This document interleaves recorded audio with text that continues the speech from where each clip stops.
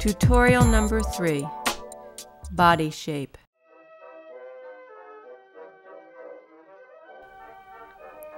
Anatomy is destiny. So wrote the famous psychiatrist, Sigmund Freud. This tutorial will cover several basic body measurements.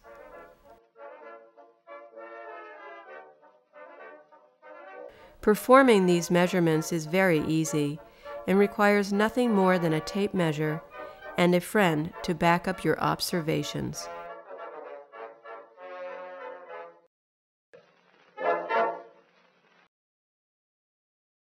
The first will allow you to classify your body shape as belonging to one of three basic body types called somatotypes. Body types are composed of different ratios of three types of embryonic tissue. These three basic tissue types comprise the germ layers of the embryo.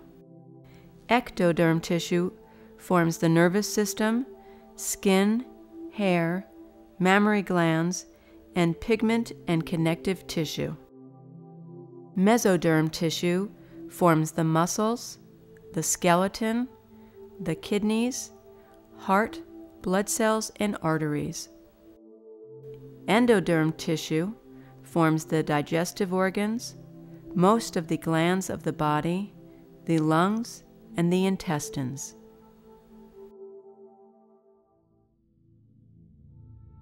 Somatotypes are named after their predominant tissue type.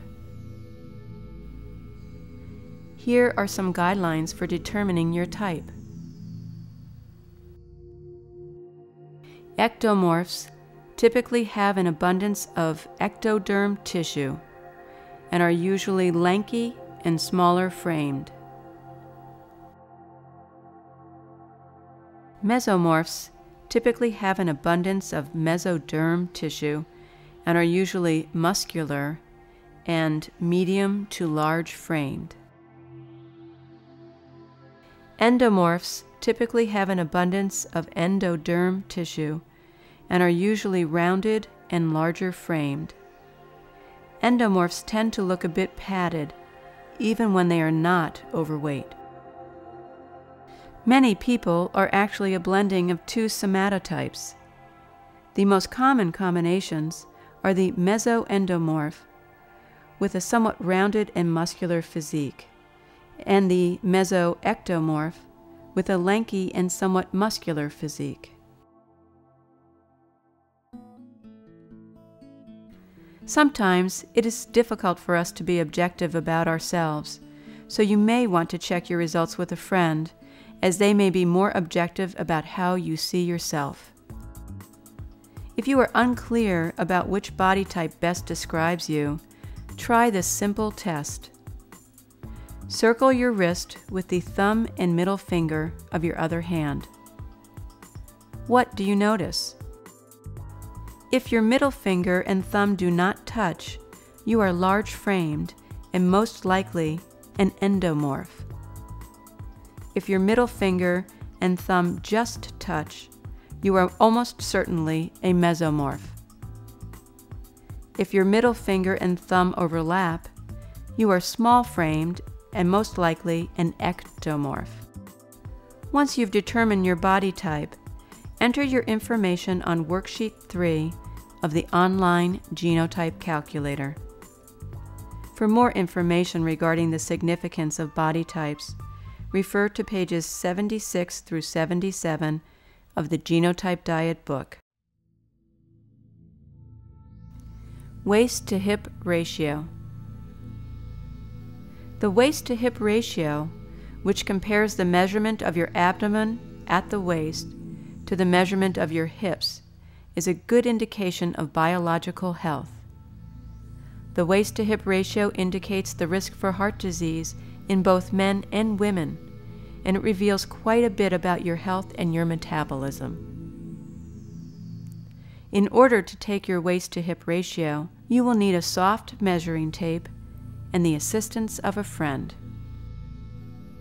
First, wrap the soft tape measure around your waist at its narrowest point, just above the belly button.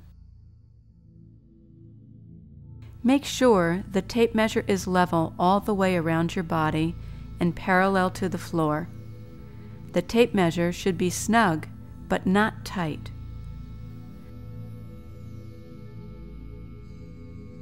Try for accuracy of within 10 millimeters or 1 eighth of an inch.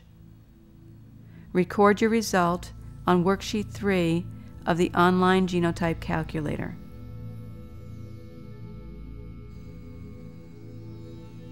For your hips, choose the widest part of your hip bones and wrap the measuring tape around yourself, remembering that it should be snug but not tight.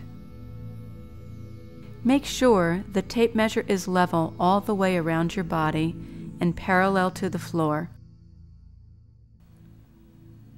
Record your results on the worksheet. The calculator will determine your waist to hip ratio. For more information regarding the significance of waist to hip ratio, refer to page 49 of the Genotype Diet book.